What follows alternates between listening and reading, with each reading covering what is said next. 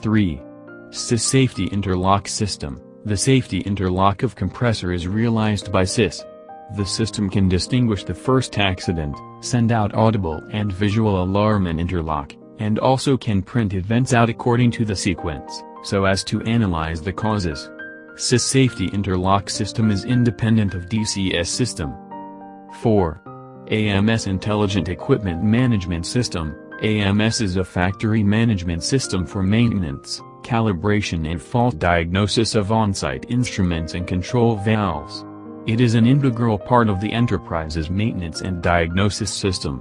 It has an interface for communication with third-party software, which is used for advanced equipment diagnosing, performance monitoring and maintenance and test planning.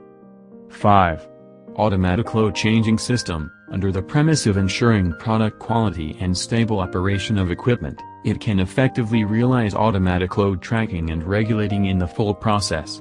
That is to say, according to the subsequent change of product consumption, the opening of air compressor inlet guide vane is adjusted automatically or manually, and the parameters such as flow, liquid level, expander expansion are adjusted automatically in the process flow of air separation equipment, and the optimal control scheme and control set point among relevant variables are set, so as to minimize the energy consumption of equipment.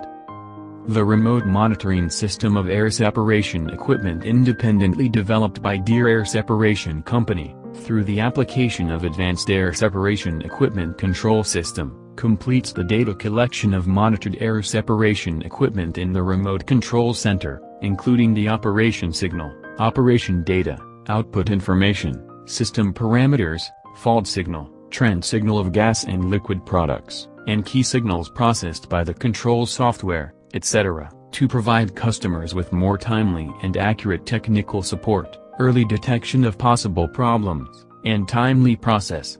The operation convenience and safety of air separation equipment are greatly improved.